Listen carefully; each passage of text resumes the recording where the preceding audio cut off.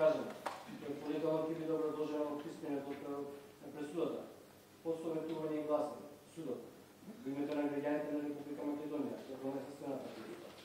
Обвинетите Арил Демири, Африн Исмилови, Агим Исмилови, Тези Азири, Хаки Азири и Сами Лута ги гласува за виновни за кривично дело тероризам и осудува на казна доживотен затвор.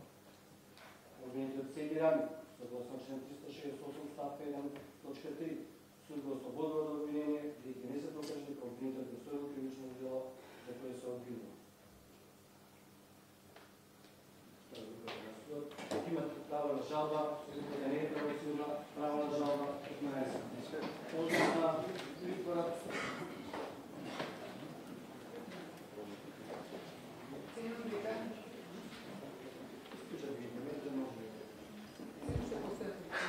Може да дојде. Да.